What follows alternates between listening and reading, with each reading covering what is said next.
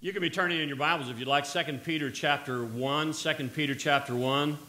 Also turn to 2 uh, Timothy chapter 3, James chapter 5. We're going to be in all those.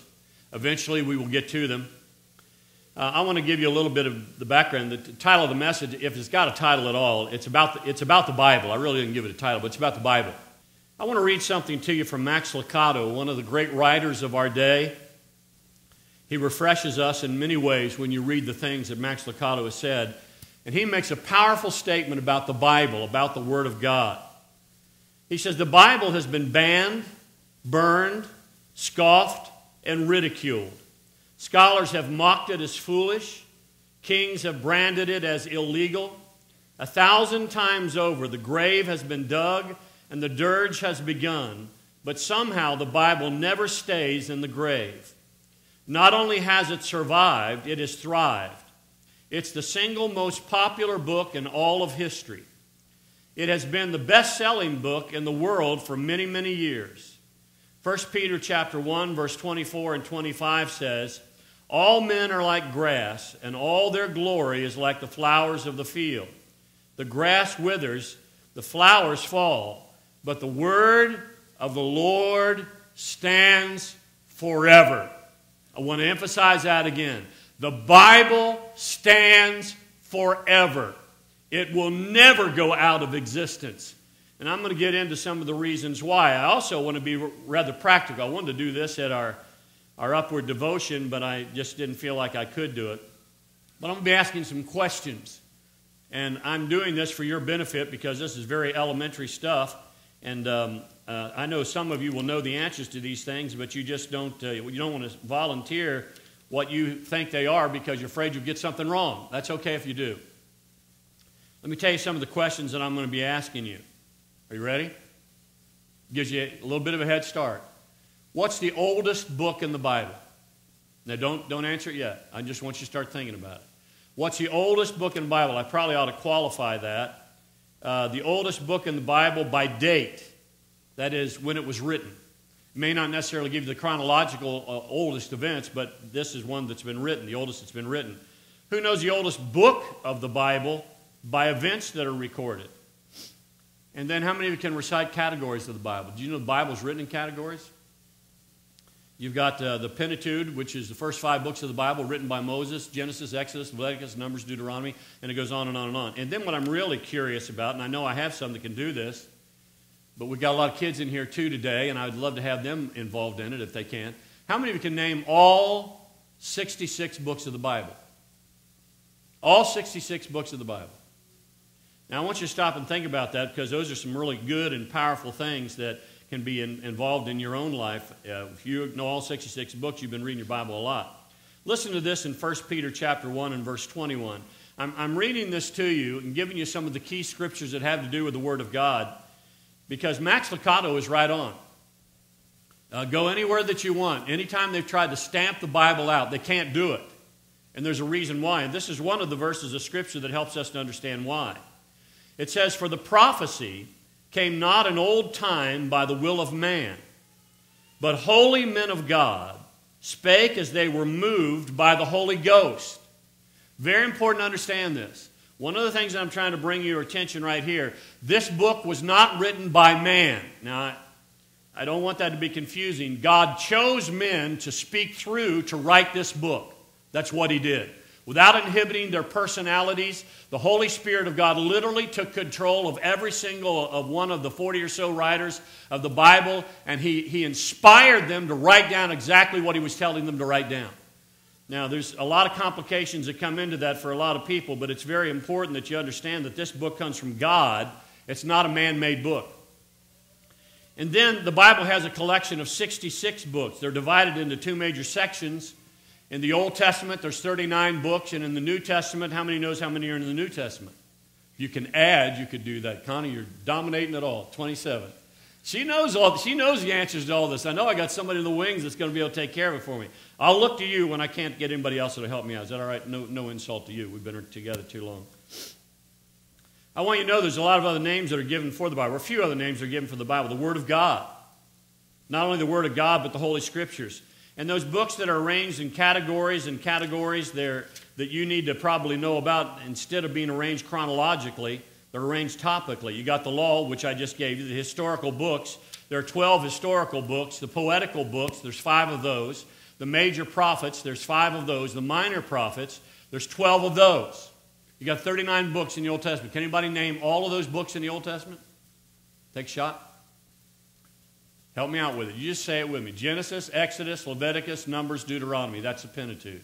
Then we have the historical books. Who wants to start the historical books? Joshua, Judges, Ruth, 1st, 2nd Samuel, 1st, 2nd Kings, 1st, 2nd Chronicles.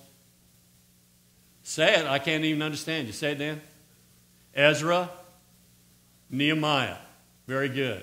Then we're getting, and then you got Esther, Job, Psalms, Proverbs, Ecclesiastes, and on and on and on it goes. Okay? How many of you think that you could do that? I won't put you on the spot and have you. How many of you think you could do that?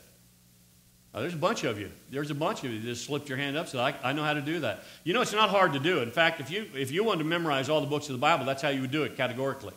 You would take the first five books of the Bible. Everybody knows that Genesis, Exodus, Leviticus, Numbers, Deuteronomy. You may not know exactly how to pronounce them, but you could get most of them. Then when you go down through it all, you're going to have the New Testament too that has the Gospels. There's four of those. Who knows the Gospels? Say them if you know them. Very good. Matthew, Mark, Luke, and John. What's the historical book in the New Testament? Acts, the book of Acts. Who was written by the book of Acts? Luke. Very good. Most people will say Paul, but it's not Paul, it's physician Luke that wrote down uh, the book of Acts, the historical books. And then the Pauline epistles. Some division on this, but we're going to keep it simple. Pauline epistles, these are the epistles that he wrote Romans, 1st, 2nd Corinthians. Who wants to take over from there? Please. Galatians, Ephesians, Philippians, Colossians. Keep on going. What's after that? Say it again. Keep going. First, Second Timothy, Titus, Philemon, Hebrews, James. Keep on going with that. Yeah, it takes you right on through. That's good. That's helping me out. I'm seeing that you know something about that. 40, some 40 different writers. This is really a, an amazing thing. Some 40 different men from all walks of life, from, and over a period of something like 1,600 years, they wrote the Bible. A lot of people don't realize that. You might say, well, I'm going to go to my local library and I'm going to find the Bible. I want the original Bible as it was given, and I'd like to start reading it. Well, you probably couldn't read it to begin with. But, but beyond that, there is no such thing that exists today. There has been that. But the God breathed 66 books of the Bible that God gave to us, but it's not in existence today as it was given then. We have lots of copies of it, but we don't have the original one that was given to us. Now, let me get into some of these questions that I said I was going to ask you along the way. Who knows what the oldest book of the Bible is by date? The date that it was written? Job, the book of Job. Very good. Uh, who knows what the oldest book of the Bible is by events that are recorded? Oh, come on. That's the easiest one of all. Genesis. You're, that's so easy you, thought, you were thinking he's got a trick question there because that's not Genesis. And then I've already asked you who can recite them all. Listen, here's, here's why I'm taking the time to do this. I wanted to do something out of the ordinary. Because I know that if I say I'm going to preach on the Bible, people can begin to look at that and say, I already know all about the Bible. You don't probably all already know about the Bible, but there's some amazing things about the, the Bible that we ought to forever and ever and ever keep in our heart. Do you know that many lives have been changed by the eternal Word of God? Did you know that? I'm going to be giving you some illustrations of that in, in this, but there's a reason why that can happen. The Bible is different than the Iliad and the Odyssey. The Bible is different from any other book that you can name because of one very special feature. And I'm going to read it to you here in 2 Timothy chapter 3 and verse 16. And here's what it says. All scripture is given by inspiration of God and is profitable for doctrine, for reproof, for correction, for instruction in righteousness I'll call to your attention a couple of things, but the first one I want to get to your attention is all scripture is given by what's that word? Inspiration. That literally means that God breathed the word into existence. We don't think he just put an idea in the minds of men and then men started writing down what they thought that idea was. He literally breathed every single word into existence. Imperative that we know that because that's the power of the Word of God. Here's what that means when it says inspired it means it's a book that is alive. It's different than any book in the world. You can open up any book. Some of the my wife is a prodigious reader. She's reading all of the time. But any of the books that she writes, they're not alive. They, they may be alive in a sense of the world, in a spiritualization kind of a sense of the word. But did you know that every time you sit down with the Bible and you open the Bible up, the author of the Bible is there to explain itself to you? Did you know that? Wouldn't that be an amazing thing that you could bring an author with you and put that author, that author right by your side and he would say, here's what I meant when I wrote that. You got that in the Holy Spirit of God. The Holy Spirit of God, He will sit down with the believer, and he, when the believer opens the Word, the Holy Spirit is there to give to you the meaning of it if you'll simply lean upon Him. The Bible's very clear about that. The power of the Word of God. It's alive. No other book like it. Tells you no other book has been able to tell us uh, where we came from, why we're here, and where we're going. And it explains all of life. It explains it to us. Now, having read that to you, I've also want to bring to your attention that, that very first word, which, was, which is all, all, A L L. Now, this is very important. We believe that every single word of the Bible is inspired by God. Not just the paragraphs, every single word is inspired by God.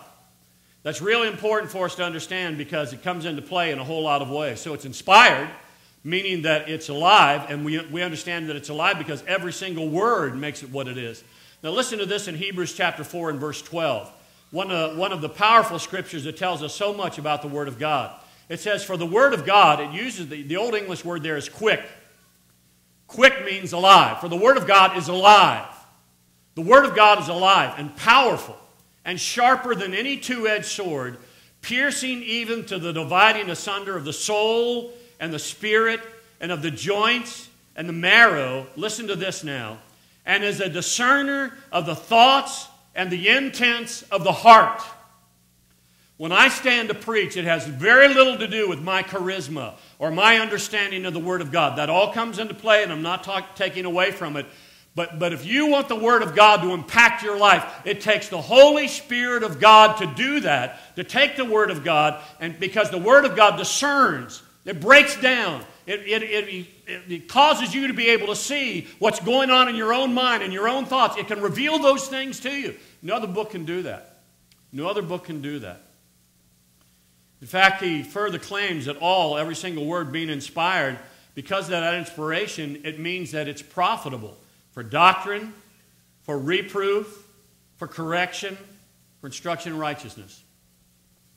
Now, I'm very tempted to get into the various details of that and explain it to you, but that, this is where we get our doctrine from. We have no business having any doctrine unless it comes from the Word of God. Now, there may be divisions that people can have on that, minor divisions, I would certainly hope that would be, but it's very important. But here's the basis that I want to give to you, because this is where the rubber meets the road for you.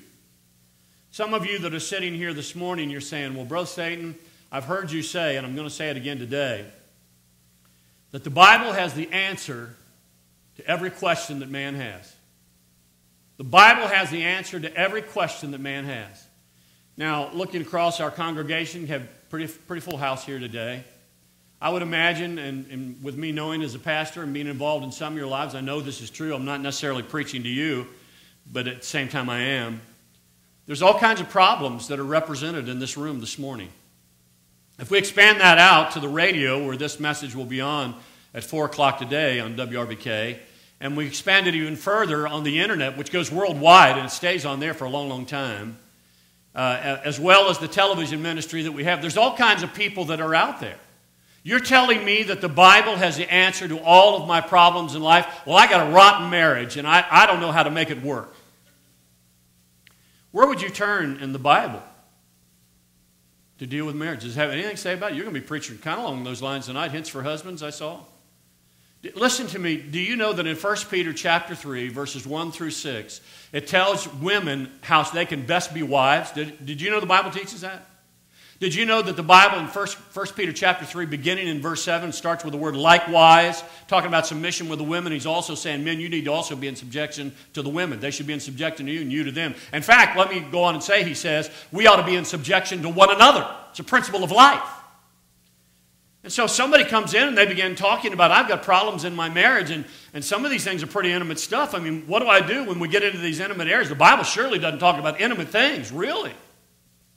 Did you know that one of the most powerful scriptures is found in 1 Corinthians chapter 7?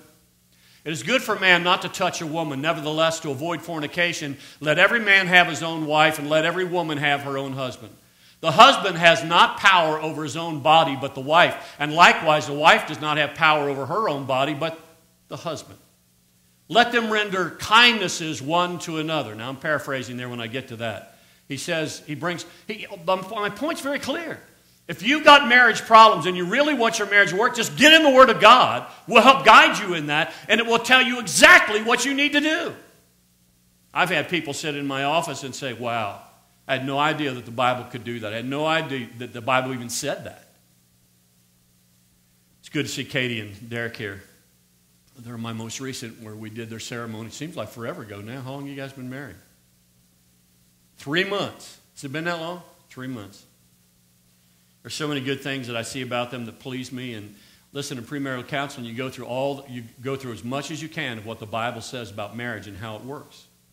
Because those of us have been married for a long time, we know that no matter how much you love that beautiful bride you have, no matter how much she loves that handsome groom that she has, there's going to be testings in their home right along the way. The Bible has the answer.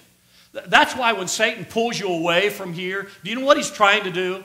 He's trying to isolate you, get you away from the Word of God, because if he wants to do a number on your marriage, he's going to get you out of here where there's a good influence. Not to mention the many other influences that can be in your life.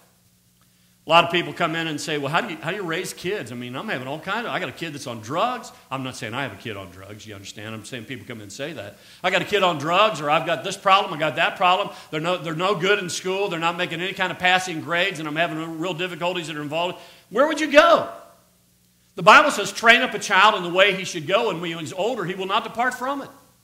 That means establish patterns in that kid's life, and when that kid becomes an adult, the patterns will still be there. You know, a lot of people don't understand exactly what that means, but what he's saying is if you raise a child to be a spoiled brat, they'll be a 70 year old spoiled rat unless God intervenes. Do, do you understand what he's saying?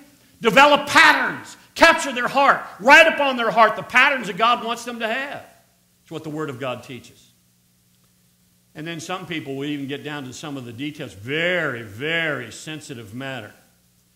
You mean to tell me that the Bible talks about how to handle your money? Wow. The Bible says more about money than it does most other subjects in the Bible. Did you know that? What would you say to someone who comes in and they say, you know, we're having some real, we're having some real money problems? Some of you probably are having money problems. We're not trying to belittle you in, in any way, but what, what does the Bible teach about that?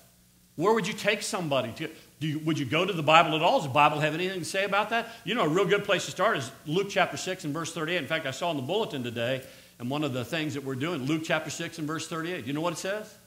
Give, give, give, and it shall be given unto you, good measure, pressed down, shaken together, running over, shall men give into your bosom, for with the same measure that you meet withal, it shall be measured to you again. We could go to the Old Testament, the book of Malachi, when he says, Bring ye all the tithes into the storehouse, and see if I'll not open the windows of heaven and pour you out a blessing so great there won't even be room enough to contain it. See, all that the Word of God does is it takes us back to God. Every single time it takes us back to God. And that's what this book is all about. It's all about God. Not only that, but you get into other areas like sickness. Sam brought it up in Sunday school, and all of us have had it on the news very recently. Very sincere man, I'm sure, that picked up that rattlesnake in eastern Kentucky and it bit him. And he wouldn't go to the doctor to get the kind of help that he needed because that's, that violated his convictions. And he died. He died. Now his 20, 23 year old son, I think, has taken over pastoring the church. And he, uh, right away, in one of the first services afterward, he handled the very snake, rattlesnake, that had bitten his father and killed him. Well, how do you, how do you clarify that? They claim they're getting that from the Word of God, you know. How, how do you deal with that? What do you do when people are sick? When people come in and say, Well, I don't believe in doctors, I'm not going to doctors, you know that's in violation of the Word of God. Listen to this as I read it to you James chapter 5, starting in verse 14. I love how God does this. He, he asks a question Is any sick among you? You know, the idea that he's giving you got somebody who's really seriously sick, somebody who's really hurting. He says, Here's what I want you to do. Let him call for the elders of the church and let them pray over him. Now, here's what I want you to see anointing him with oil in the name of the Lord. Do you know that oil was the medication of that day? That was the medicine that they used. Let me go on reading here. And the prayer of faith shall save the sick, and the Lord shall raise him up. Now, I want to tell you, that's pretty exact. What it's teaching us, in essence, is that we are to take the medication that the doctor gives to us, and the advice the doctor gives to us, and the instructions that the doctor gives to us. He's in, involving that all in that word oil there. He says, I, I want you to do all of that and then pray, because all healing comes from God.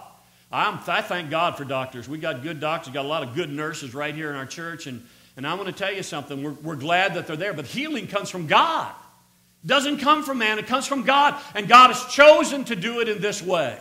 So we have our instructions there with such a thing as that. And then I know you, you know the answer to this. I said to that group that I was preaching to yesterday and, and the devotions, the three devotions that I brought, what do you do when you're hurt? You know, I can ask this question and it would be kind of redundant. I can guarantee you that right now, every single person that's listening to me, not just here in the auditorium, but other, other medias, you have been hurt in your life. And some of you, your life is on standstill because you can't get over the hurt. Still there. It's something that haunts you all of the time. You dream about that incident, the person that, whose face really hurt you.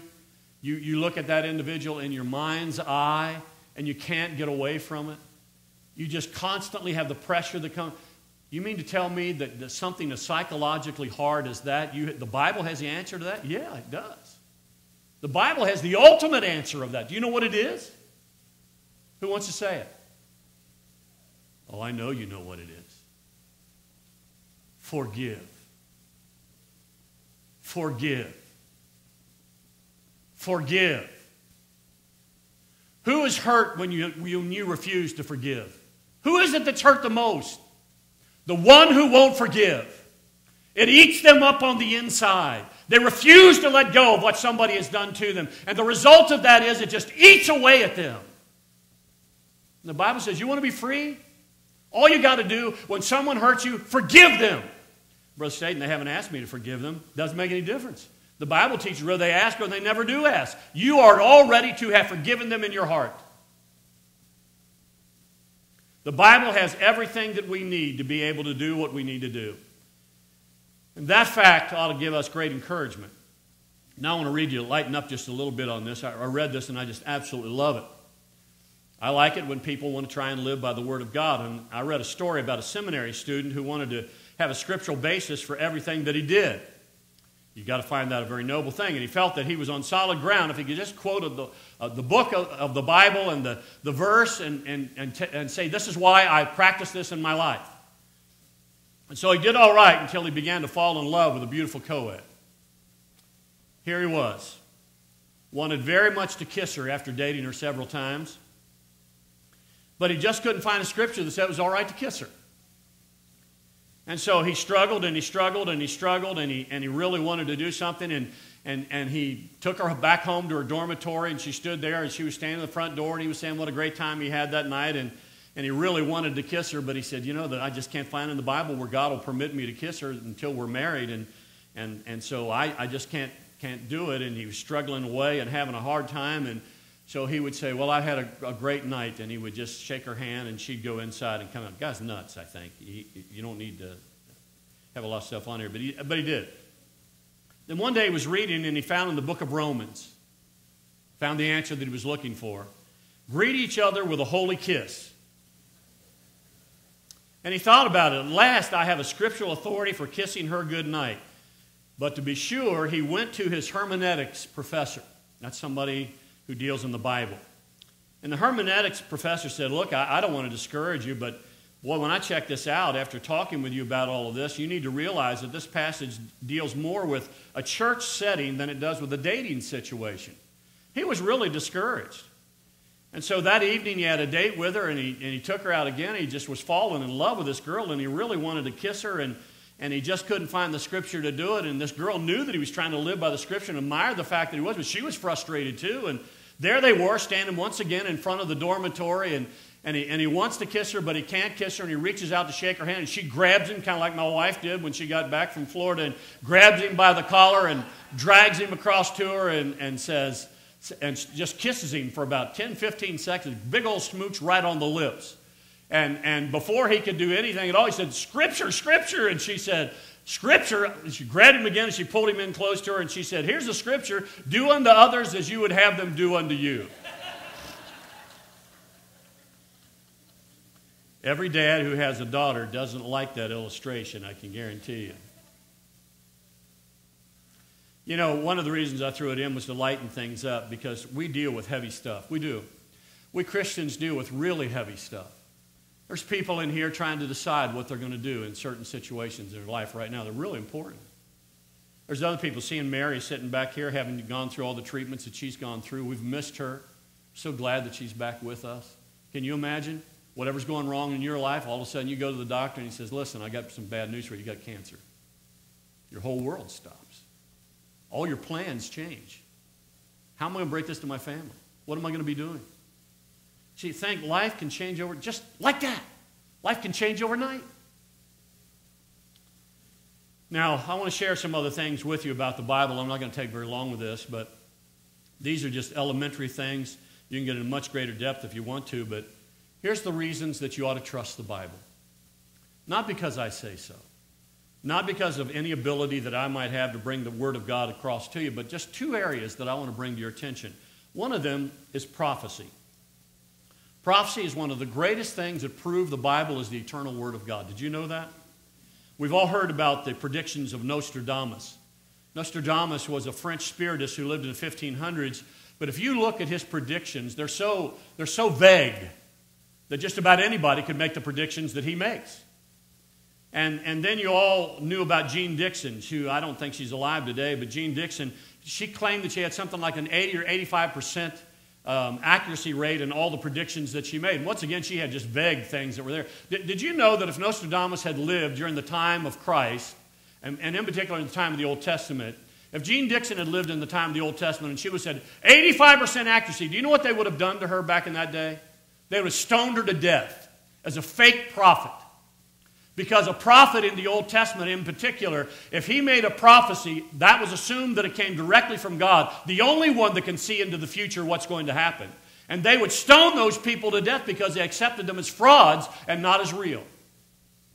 So God puts himself on the spot and says, I'm going to tell you things that are going to happen in the future, not in vague general ways where just anybody could. I'm going to tell you specifically how things are going to happen. Now, where would we go for that? It probably would do you good if you want to turn to this 1 Thessalonians chapter 4 and verse 13, because here's one of the predictions that he makes. God says, this is a, this is a prediction, I believe one of the next things to happen. God says, are you listening? Stay with me. God says there's a generation coming that is never going to die. Did you know the Bible teaches that? There's a generation coming that is never going to die. Now, I don't mind telling you, I'd like to be in that generation. I'm not looking forward to death, it's my enemy. I know where I'm going, but I, I want to do away with death. I want to go to heaven without dying. If there's a way of doing that, I want to do it.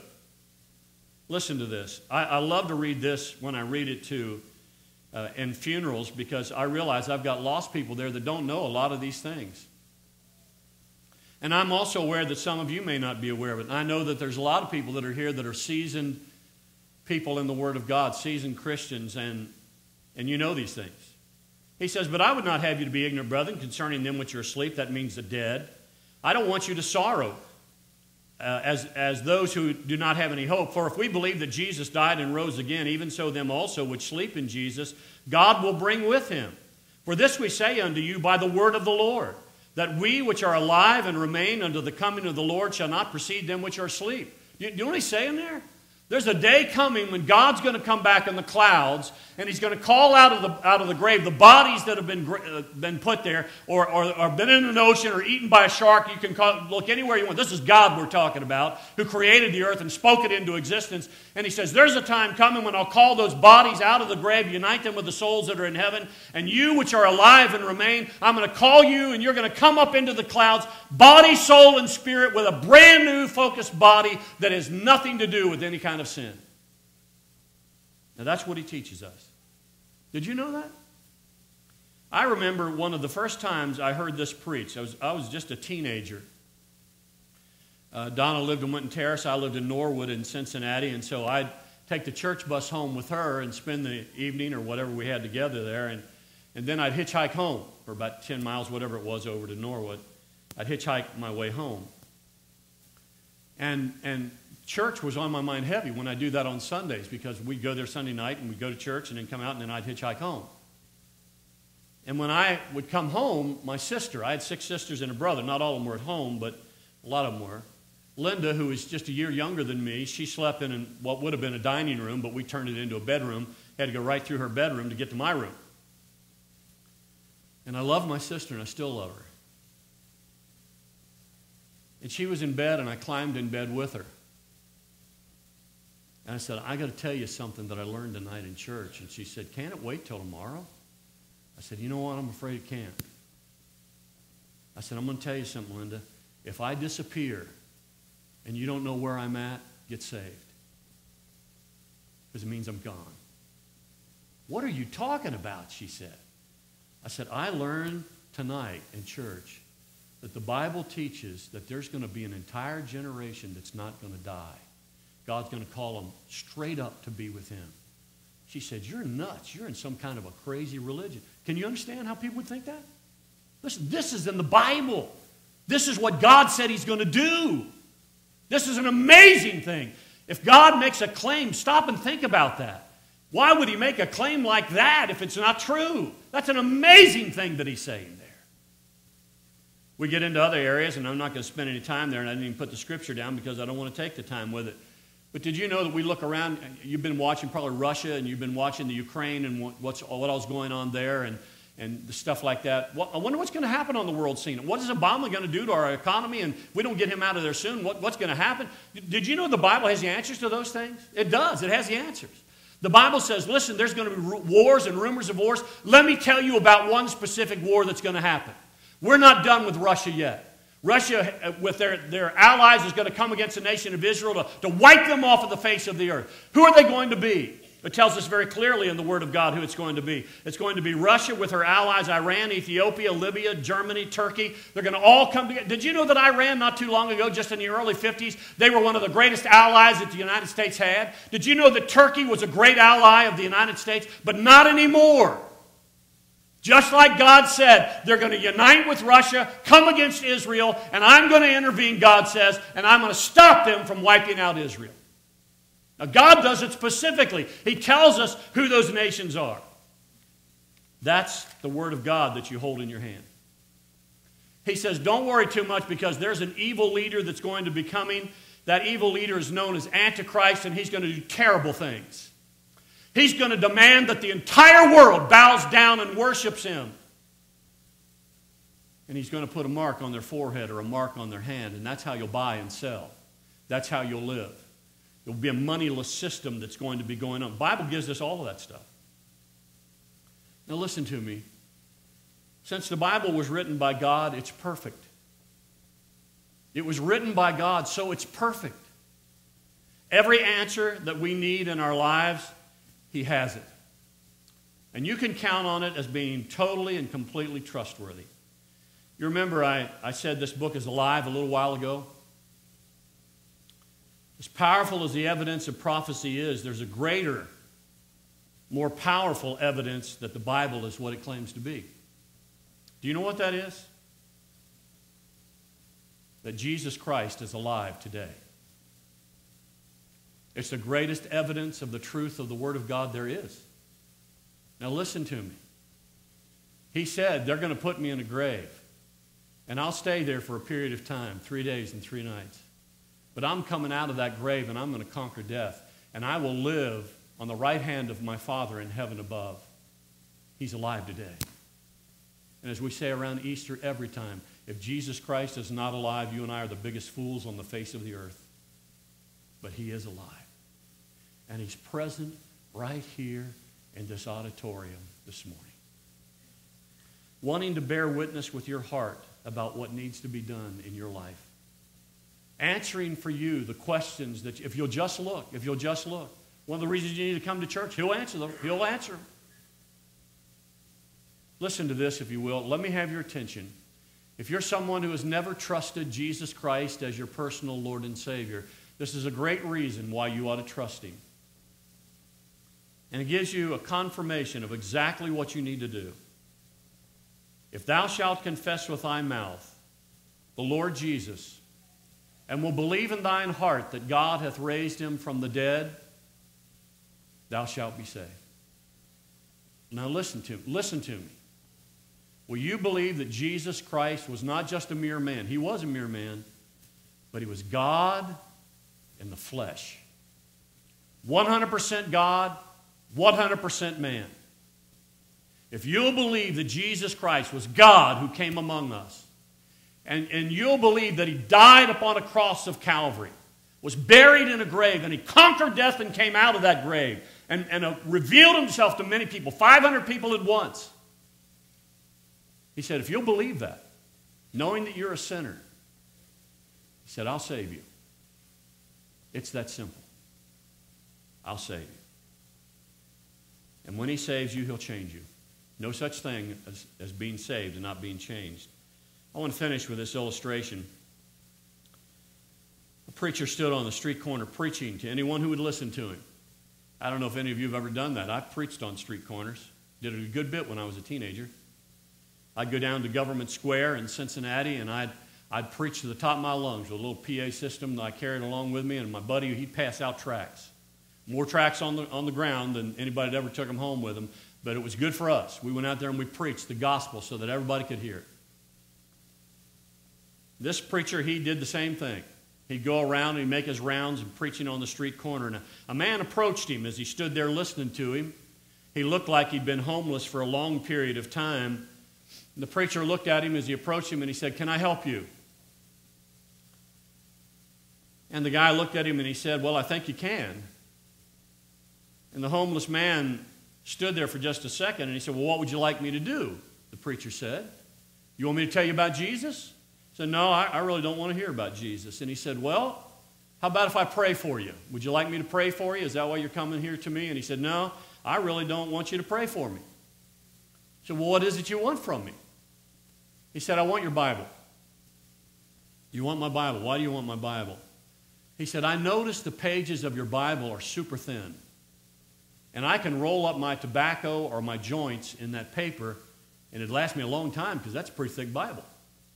Well, at first the preacher's insulted by that, and he doesn't think he's going to do it, but God intervened and spoke to his heart and said, Give him your Bible. And so he did. He gave him his Bible. He said, I'm going to give you my Bible, but you've got to promise you'll do this one thing. Every single time you tear a page out that you're going to wrap up your tobacco or your joint in, I want you to promise me that before you roll it up in that, you're going to read it. He said, All right, I'll do that. Time went by, about three, four months went by, and he came back to that same street corner and he started preaching again. And this guy walks up to him, neat and clean, and he says to him, Look at me. He says, Do you know me? And he said, No, I've never met you before in my life. He said, Yeah, you have.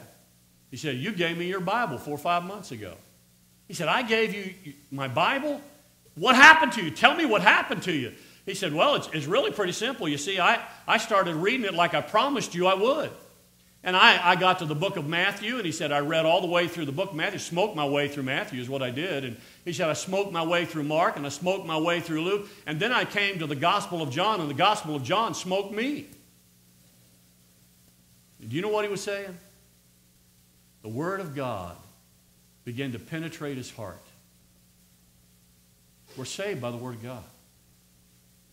And this man had a change that came about in his life. This book is alive. And when we share it with people, it does its work. It convicts, it draws. And it's speaking to you right now. Some of you have been thinking about trusting Christ as your Savior for quite some time. It's time you did it. Some of you have other decisions that you need to make in your life. It's time that you did it.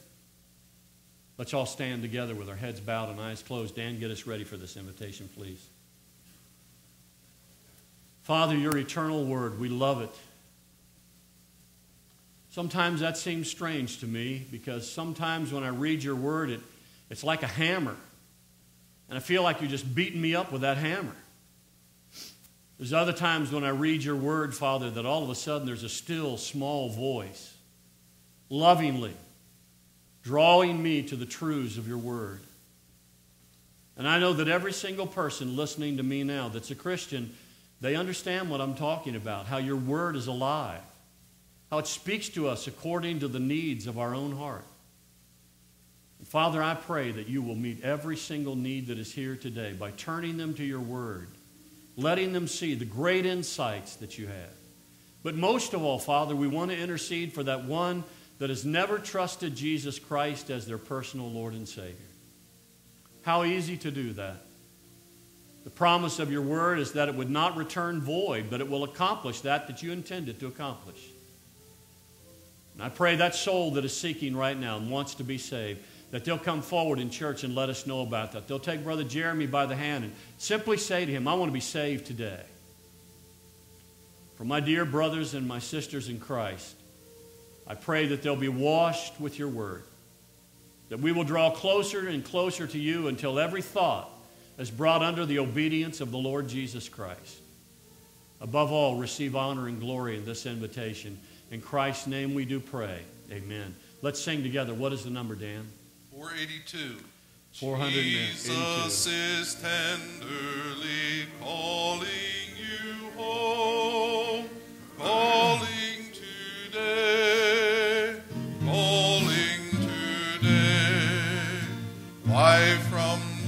the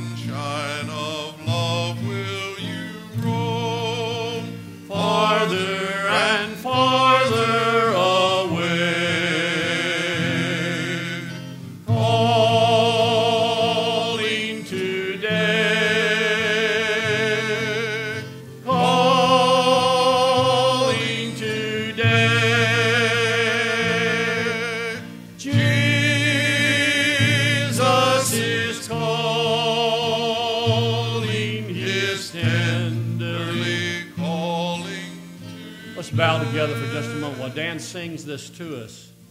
Jesus is calling. Are you sure that you need to leave the way you're leaving? You can leave here today with your heart clean, in touch with God, certain of your home in heaven for sure forever. Simply comes by believing upon the Lord Jesus Christ. Greatest weapon of Satan is delay. Delay. Spoken to your heart and you need to come. We're waiting for you to do that now. Please come. Please come right now. Find the aisle closest to you. We'll meet you here in the front.